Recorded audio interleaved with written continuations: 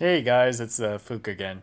And uh, today I'm going to show you really quickly one of my favorite apps on Android. Um, there's nothing like it on iOS, unfortunately, because uh, you know I still have my iPad. So if there was this feature on iOS, that would be awesome. But uh, it's just not available. So uh, you know that's a shame, but it is what it is. So the app, let me show you in my app drawer. It's called 500 Firepaper. So it's that first uh, icon that you see there in blue. So 500 Firepaper. And you can you can get it from the Google Play Store um, by, by just searching for 500 fire um, paper. So what this does, and you can see that's kind of one of the first option that comes up. Um, what it does is that it kind of pulls from 500px background wallpaper for your phone and then you can do a bunch of cool things with it. So, for example, um, I can go and run the app, which basically allows me to change the, uh, the settings of the app. So, for example, I can say only update uh, photos via Wi Fi.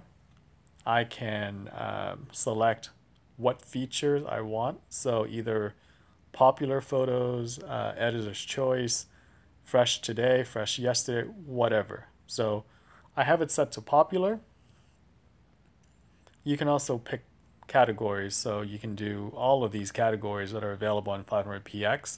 So I have landscape and uh, nature selected, but you can basically do almost anything that, that 500px supports in terms of categories.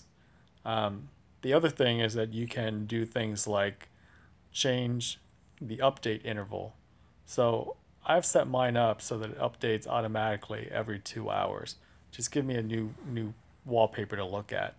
You also have options like uh, show images that are not safe for work, maybe a little bit, you know, they may be a little bit risque, they may be nude photos or, or whatever, but you can check that or not. Um, and then a bunch of other other settings. Okay, so it's it's actually very cool. And one of the features is that, say I have this um, wallpaper right now of this kind of canyon with a river and waterfall, and it's nice, but maybe it's not to my taste.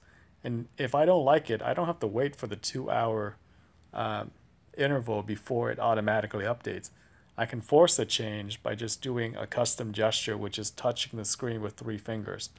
So if I do that, it'll automatically go out and grab a new wallpaper. So that's really cool too. So um, I hope you guys uh, like that. It's a completely free app. There's no ads. There's nothing. You can see that the, the author kind of tells you that you know you can upgrade to the quote unquote pro version, but basically that's just giving him money if you you want to donate uh, for his time. Um, but there are no ads, no nothing. It's really a great app uh, I hope that if you do download it and you like it, that you would uh, donate to uh, to further the cause if you can. But uh, if not, you know the the basic free app is fully functional, not crippled in any way, and I hope you really enjoy uh, this demo.